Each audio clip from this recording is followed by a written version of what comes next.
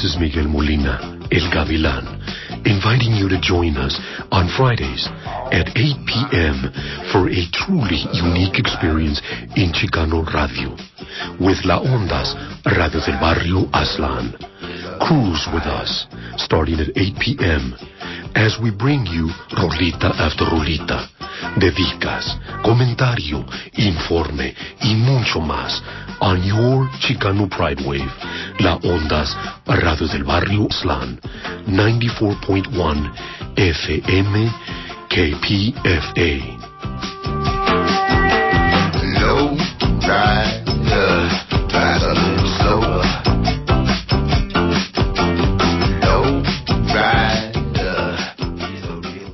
And you are listening to 94.1 KPFA in Berkeley, 89.3 KPFB in Berkeley, and 88.1 KFCF in Fresno. The time is 1 o'clock. Stay tuned next for Terra Verde.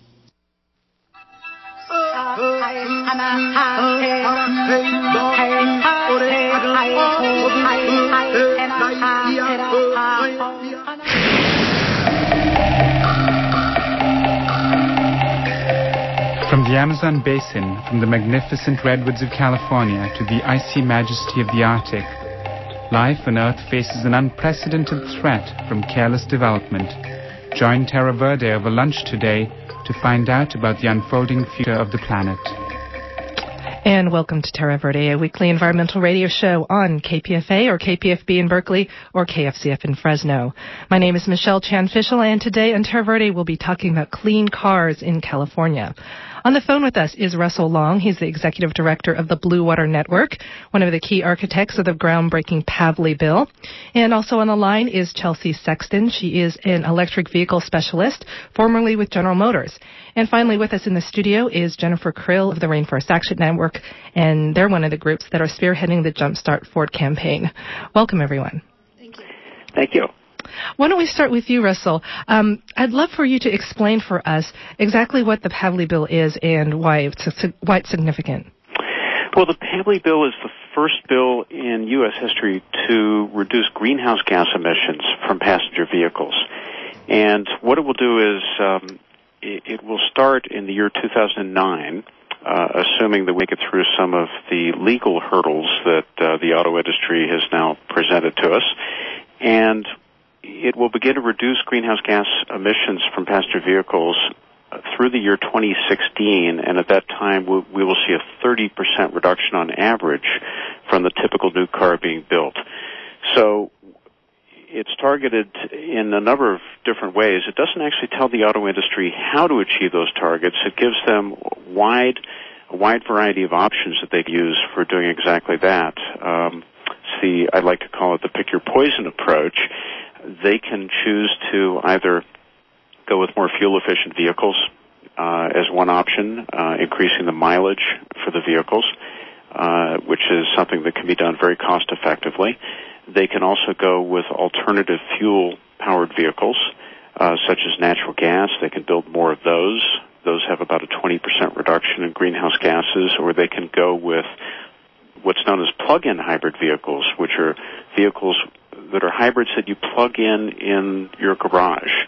And those will get up to about a 62% reduction in greenhouse gas emissions. Or they can use propane, and that's actually become quite big in Europe now. They call it autogas there and those have significant reductions as well. And then you have several other pollutants such as the air conditioning systems, which use um, very powerful greenhouse gases, um, HCFCs, that can be replaced with more benign uh, refrigerants. And the catalytic converters themselves, they discharge nitrous oxides. So those can be changed, modified slightly to reduce those emissions. So there's a lot of potential benefits. Uh, the auto industry can pick the direction they want to go in. California isn't forcing any of these directions upon them. Uh, and uh, hopefully we can see reductions that even go beyond the 30% over time. And do we expect any other states to perhaps um, get inspired by Pavley and start picking these up? Yes, other states can go and adopt California's regulations. Uh, so we've we've seen that uh, with other regulations, such as um, earlier vehicle regulations that we'll probably discuss in a few minutes um, with the General Motors specialist, and and those have been picked up in states like New York and New England, uh, and and they've helped on air quality in, in in many different ways in terms of reducing fine particle exhaust and also smog forming emissions. And um, you had mentioned that this bill right now, or this law actually, is under attack. Tell us a little bit about that.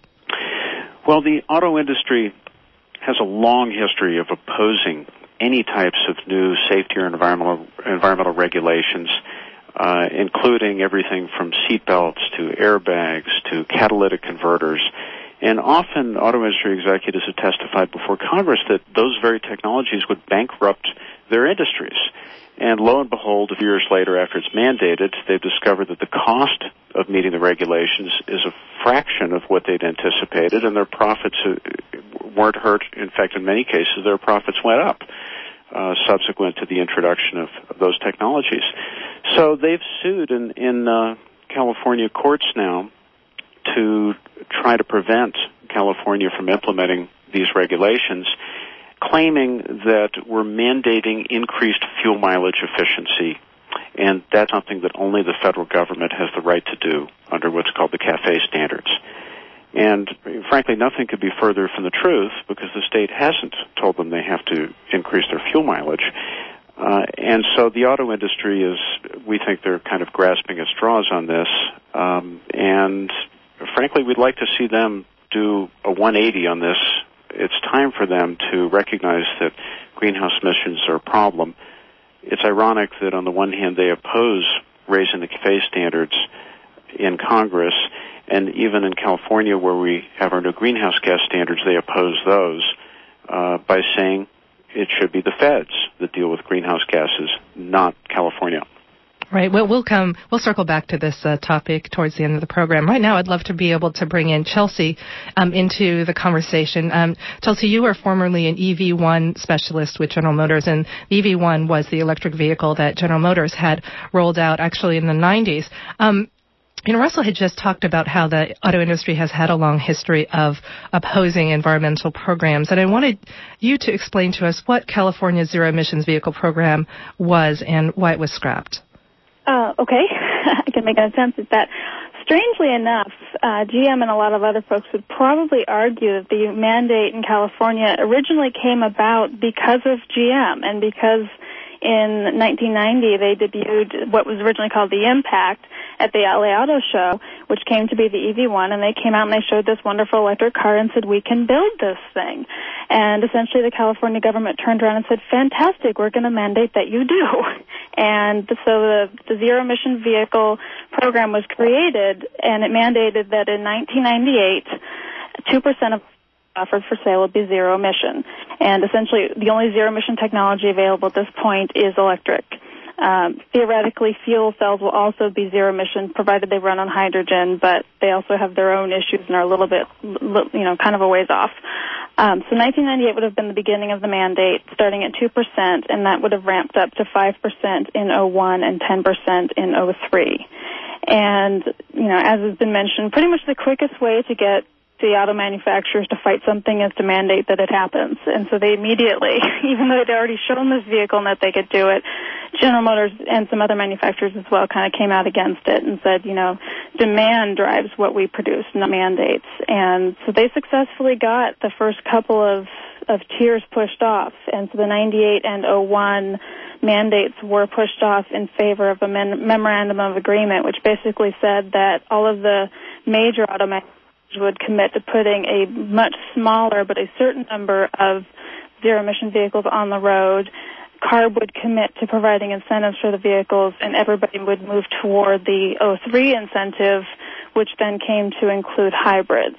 And that, of course, has been pushed off as well, um, especially in the face of particularly Motors, but also Chrysler and some other folks getting involved in a lawsuit against the state and even the federal governments on the premise that nobody wants electric vehicles and they're not not the cheapest and safest options and various different arguments that you know CARB just simply shouldn't be mandating that they have to produce these vehicles that no one really wants anyway.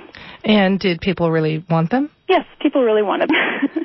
Tell us a little bit about that. I think that um, when we were talking before, you had said that you were actually one of the folks working at GM who had to tell people, sorry, no car. Yeah, um, it was unfortunate. I mean, there was absolutely interest and demand in the vehicles, and we simply, you know, I didn't have them in the area. You know, I, I my my area was Los Angeles County, Orange County, Ventura County, a lot of Southern California, and you know, I definitely could have placed more cars in this area than I had, and I ran out long before the program ended. But essentially, the programs ended towards the end of of 01. You know, some of the manufacturers ended sooner than that. And there was demand before and there is demand now. And it's something that, you know, most of the OEMs have been pretty successful in putting out public statements that, you know, yes, we realize our owners are loyal, there just weren't very many of them. And there weren't very many because there weren't very many cars. So, you know, moving forward, it's kind of ironic. As as hard as the auto manufacturers fought the mandate, and in some ways produced fewer cars probably because of it. Had there not been those mandates, we probably wouldn't have seen cars at all. And so, could you find EV1s driving around California today, and even small numbers? Oh, maybe one or two. Literally. yes, literally one or two.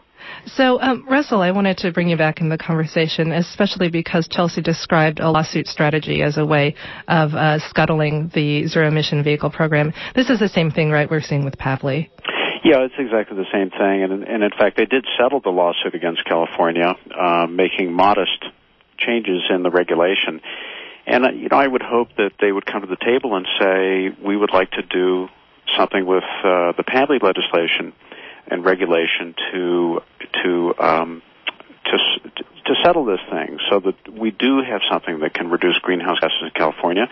And you know, maybe they have some modest uh, changes they'd like to see that would make sense. I have no idea uh, whether uh, there's that possibility or whether the state uh, or the environmental community would even be interested in that. But nonetheless, I think it makes sense to talk. It always does.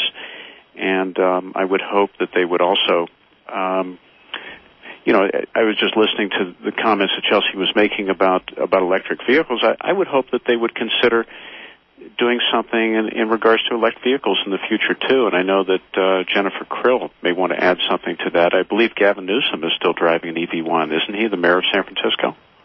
I I don't know if it was an EV1 or if it was a Ford Think. But uh, I know that uh, uh, the Sacramento Municipal Utility District is still driving an EV1. So that may be the one out of the one or two that are driving around. Could be. I, yeah. I, re- I remember Mayor Newsom told me once that uh, I, I had a meeting with him about a year and a half, two years ago, I think it was, and he, he was late for it. He apologized when he got there by saying that he'd he'd spilled his coffee on the car and it wouldn't start again. it shorted out all the wiring. Hmm. So I know he was driving one for a while. Mm-hmm. Well, um, Chelsea, we're going to go ahead and, and let you go. We want, really want to thank you for joining us on the show. Sure. Um, Chelsea Sexton is an electric vehicle specialist. She was formerly with General Motors. Thanks for joining us in Terra Verde. Absolutely. Thank you. This is Michelle Chan Fishel. You're tuned to Terra Verde. We are a weekly environmental radio show on KPFA and KPFB in Berkeley, KFC in Fres- KFCF in Fresno, and you are listening to Russell Long of Blue Water Network. Chelsea Sexton was just with us. She was formerly with General Motors, and Jennifer Krill is with the in- Rainforest Action Network, and she's with us in the studio. Jennifer, I wanted to bring you in on the conversation, especially because you are working right now with Ford in trying to save some of its last electric vehicles. Isn't that right? Yes, that's right.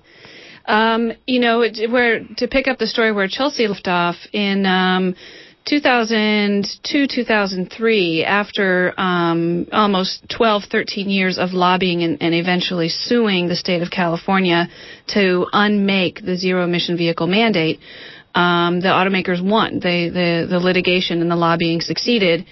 At the same time, some of the automakers had been actually working to engineer cars and put cars on the road that would meet the mandate. And that was the what gave rise to GM's EV1 program.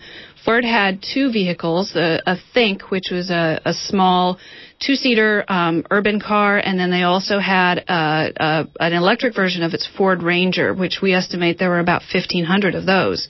Honda had a, an EV, Nissan had an EV, and um, once that mandate went away, in 2003, um, it, it was literally a matter of months, and in some cases, it was even before the mandate went away, that the automakers decided to cancel their zero emission electric vehicle programs. Now, today, when you read Ford's website in particular and some of the other automakers, um, you you read about how environmentally minded, and, and Ford came out with an ad a couple of years ago where they said, "Global warming, there, we said it." Um, you know, these guys do a very good job of marketing themselves as being environmentally friendly. Now, here's what we think an environmentally friendly automaker would do. You would not need a mandate in order to manufacture zero emission vehicles. First of all, um, when the mandate goes away, you would continue voluntarily to, to increase production of the zero emission vehicles rather than take them away. Secondly, when uh, California imposes regulations on greenhouse gas emissions in, in the Pavley in the form of the Pavley bill, um, you know what I would like Ford to do, what its environmental rhetoric implies that Ford would do, is it would say, oh, you know, it, it maybe it is a burden to produce two kinds of cars with two kinds of emission technology in North America. So you know what we're going to do? We're going to meet the Pavley regulation throughout all of our North American operations. But Ford didn't say that. What Ford went for is the lowest common denominator rather than the most environmentally um, friendly opportunity. What Ford is doing right now with the last line of its um, electric vehicles, which is the Ranger electric trucks, um, there's about a hundred of them left. Ford has already taken away a thousand and crushed them. They didn't just kill the program. They don't want there to be any memory of this being a successful technology. And uh, even smugly, Ford offered to its uh, Ranger drivers the opportunity for them to consider the Escape hybrid vehicle, um, as an as an alternative, which is an SUV that Ford came out with. It's hybrid electric. It still gets 36 miles to a gallon. So if you're if you're a concerned driver who really doesn't want to use um, fossil fuels, who really doesn't want to have emissions, the Escape is not really the solution you're looking for. Ford off in, in Ford made this offer, and then they told these guys, "And we're going to take back your zero emission truck, and we're going to destroy it." And um, as I understand now, these people who owned the electric trucks had some kind of lease agreement, and according to the lease, didn't weren't weren't they allowed the option to eventually buy it? Right.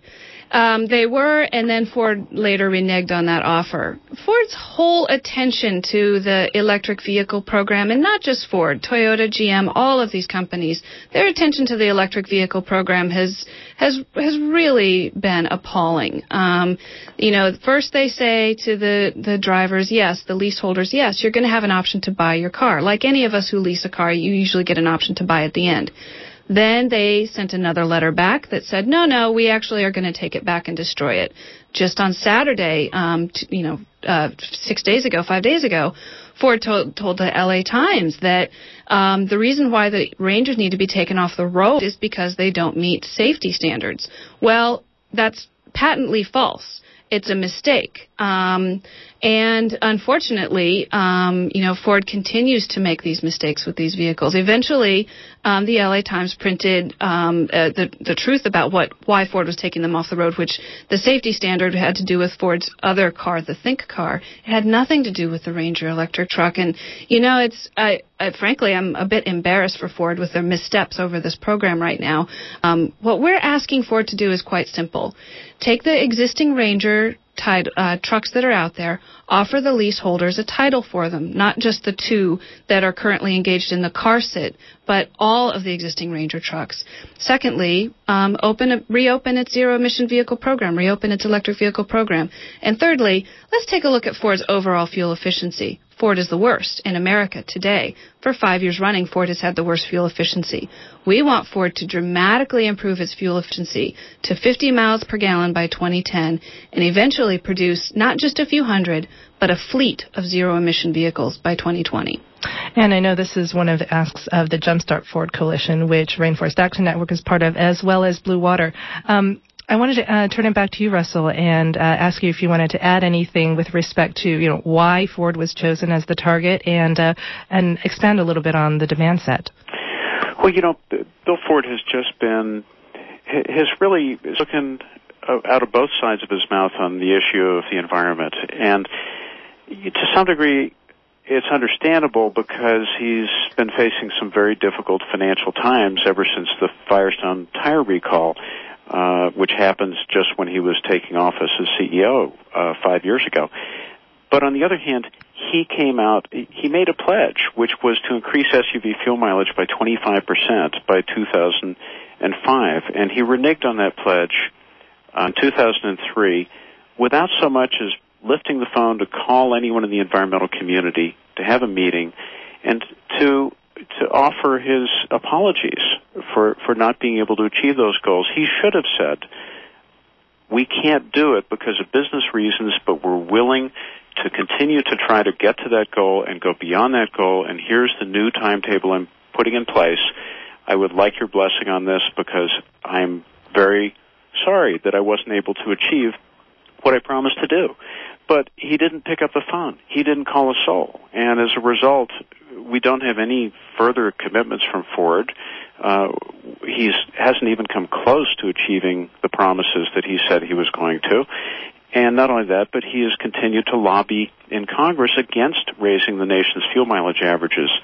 Ironically enough, if you go back to 1975, for a 10 year period from 75 to 85, the nation almost doubled its fuel mileage averages, and the reason was because Congress set standards to do exactly that. So when you look at the history, the, the only thing that has ever actually worked in raising fuel mileage has not been consumer demand. Uh, it's not been voluntary pledges by CEOs like Bill Ford. It's been the Congress taking action to raise the standards, and unfortunately, Bill Ford has fallen down in terms of doing it on his own, and he has fought efforts in Congress to do exactly that. Our request, our demand to them has been they need to stop lobbying against fuel mileage increases and support strong actions by Congress to do what we did back in 75 because yeah, so that's very important. Yeah, so there's a public policy um, dimension to your demand set as well.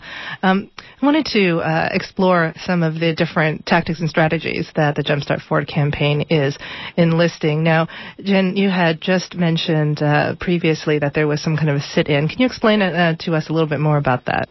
Sure. Um, you know, it's it's it's ironic that that we've had to uh, resort to this kind of tactic, but um, you know, we were working with the some of the drivers of the Ranger electric vehicles, and um, and they were getting uh, some pretty serious pressure from Ford's sales department, and we were trying to tell Ford, hey, you know, the Ranger electric vehicles, you know, they've got the customers who have them are very loyal. They like these trucks. They, you know, that it looks just like a normal Ranger. It hauls just like a normal Ranger.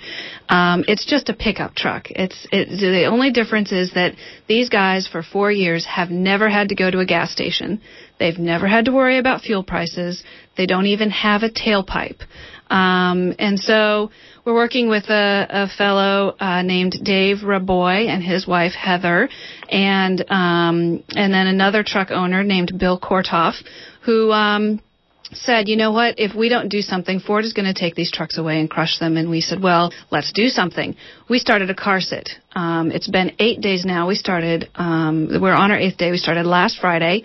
We're at downtown Ford in Sacramento on 525 North 16th Street. You can get more information on Jumpstart Ford We've got a blog. If you can't go to Sacramento, you can go to uh, jumpstartford.com and uh, communicate with people who are doing the car sit right now. Um, so for eight days, we've had two full-on zero-emission vehicle electric pickup trucks parked in front of the downtown Ford dealership. And you know what is there? It, it, we're literally parked in front of two rows, three rows uh, Ford Expeditions and Excursions and F-150s and F-250s, the dealership is offering, offering $6,000 rebates. If you drive away an Expedition today, the downtown Ford will give you $6,000 cash back instantly. We're asking for Ford to uh, take the offer of these leaseholders and actually buy the buy out the leases on their trucks. It's it's I, I, the ironies of the situation are are are are pretty incredible. I think that what we would call what we're doing right now. When Russell and I both have talked a little bit about the problems that Ford has had, uh, lowest fuel efficiency, um, breaking promises, not being entirely um, honest and truthful with the public when they're talking about the programs, lobbying against, um, you know, standards that in- increase fuel efficiency or reduce greenhouse gas emissions. You know, the truth is that Ford is a company that has a problem, and I would call that problem oil addiction. One thing that you know you've got an addict, one thing that tells you that you've got an addict is when they're engaged in destructive behavior. And what could be more destructive for an automaker than to crush its cleanest, most fuel efficient, most um, most environmentally friendly, most socially conscious cars. For a problem oil addiction. We're doing an intervention. Mm, good way to put it.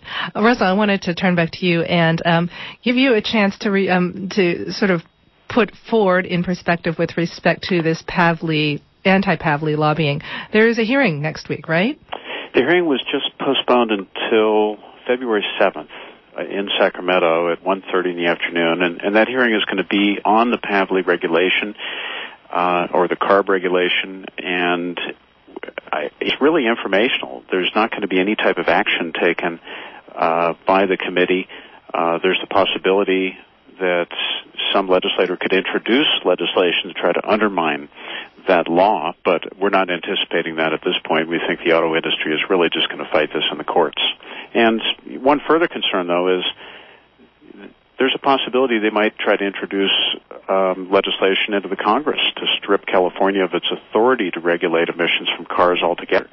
And that is uh, that would be a very unfortunate thing, and, and we would hope that the governor would stand up and battle with them on that because uh, it would obviously hurt the health of of millions of Californians if we were to lose something like that. And talk about destructive behavior. I mean, it, is the, the, company. If, if if Ford actually joins the auto industry in that, then then uh, right now we already have concerns that Ford is marketing uh, Ford's marketing and uh, advertising campaigns around its new hybrid Escape is what what a lot of environmentalists would call greenwashing, but you know, if, if, if Ford continues to engage in efforts to undermine California's greenhouse gas emissions law, then, um, you know, I mean, talk about destructive behavior. I would say the company's on a rampage. Right. Well, I wanted to make sure that our listeners had a chance to get some information, to get some contact uh, info both on the web and by phone, because we are kind of running out of time. Um, Russell, would you please give out the website and phone number for Blue Water in case people want to reach you? Yes, it's www.bluewaternetwork.org, and we're at 415 544 0400. Okay, and that is 415-544-0400. And if you are on the web, you can visit www.bluewaternetwork.org. And Jen, could you give out Rainforest Action Network's contact? Sure. Um, for the Ford campaign, you can reach us as well as Global Exchange, another coalition partner, at www.jumpstartford.com. Um, you can call 415 398 4404 and uh, you can join the online community for the EV Vigil and support um, Dave, Heather, and Bill in their efforts to save their trucks um, at jumpstartford.com. Go online to the blog, send them some comments. They'd love to have your support. They're sitting out there in the cold, and they'd love to have your support right now. Great, and that's again jumpstartford jumpstartford.com and um, 415-398-4404. Um, Jen had mentioned plenty of ways that you could get involved with um, the Jumpstart Ford campaign. Russell, really, really quickly, um, are there any things that you would encourage our listeners to do to help protect the Pavley law? Letters should be sent to Governor Schwarzenegger encouraging him to fight for California's uh, regulations should the auto industry try to undermine the state's ability to do that. They should be following the news to see if there's any activity on that front. And also our website and our phone number. I, I, I'll give you a better number too, which is 415-544-0790. Again, that's 415-544-0790. And that is all the time we have for today's show. Thanks so much to Russell, Chelsea, and Jennifer for being on the show, and to Erica Bridgman, our engineer. This show and others are available online at kpfa.org for your convenience. Have a great weekend, everyone.